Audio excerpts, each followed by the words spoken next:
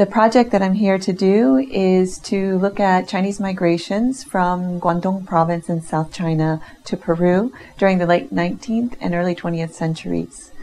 And in particular, what I try to do in this history is to situate these migrations of Cantonese speakers into Peru into within a global settler colonial moment in history, which is a moment when uh, migration was imagined as a form of colonialism and as a tool for national development.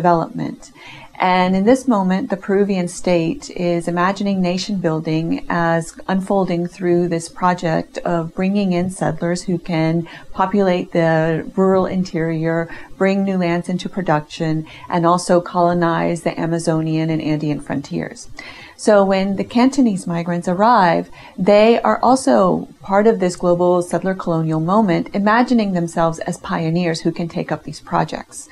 And in particular, they arrive through com- transnational commercial firms rooted in Hong Kong, uh, but with very expansive commercial networks that are expanding to all of the settler colonial frontiers now growing across the Pacific, New Zealand, Australia, and all across the Americas. And so as they move into Peru, they start to carve out new commercial opportunities moving into the interior of the nation and ultimately transition to become uh, plantation owners who are also running uh, modern industrialized agricultural plantations. So they imagine themselves as pioneers who can develop this national building project in Peru, gather a lot of skills, and then transport that back to China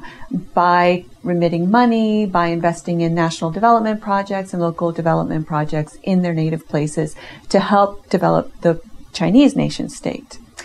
And so what my project does is I look specifically at a series of imaginaries, a series of projects that uh, two generations of Peruvian Chinese craft over about six, 70 years to position themselves differently over time with this imaginary. And uh, I look at uh, print capitalist materials, meaning they're materials, documents that have been produced for mass distribution. They're produced by Peruvian Chinese and for dissemination to larger publics. And in specifically, they are uh, commercial directories, community albums, uh, histories of the community, newspapers, and magazines. And they're published either in Chinese or Spanish or sometimes bilingual in both, depending on the audience they want to appeal to. And in each of these, they take a position in relation to how they situate themselves in re- in relation to the places that they are coming from, the places that they have moved to, but also to a broader set of places like nation states, the two nation states that they move between, the hemispheres that they're part of, a larger Pacific world, and a greater global uh, global space.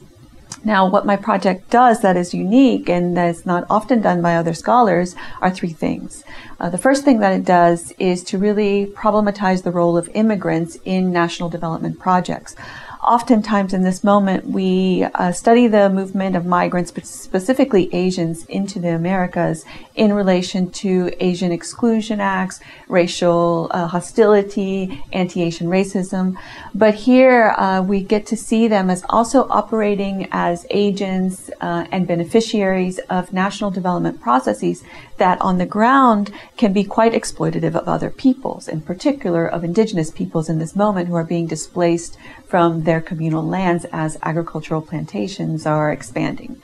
The second thing that the project does is it tries to bring a sort of multi-scalar approach to migration studies oftentimes um, migrant uh, historians of migration who do transnational history focus on the native places and the places of arrival or the two nations that migrants come from, but they forget to look at broader regional frameworks and global perspectives. And the third reason why this is important is that in bringing these other dimensions to light, we see new kinds of things unfold uh, by looking at a different scale or different scales of migration. And one of the things that comes to light is that at the global perspective, we understand that in looking at these materials, that migrants were not only situating themselves in relation to the communities they come from or the nations they come from, they very much understood that what was happening to them and what they were engaging in was part of a larger global moment part of larger global world making processes, but also processes that excluded them. So what we see here is that they are moving through worlds of their own. Uh, in particular, they're moving through what I call a Cantonese Pacific world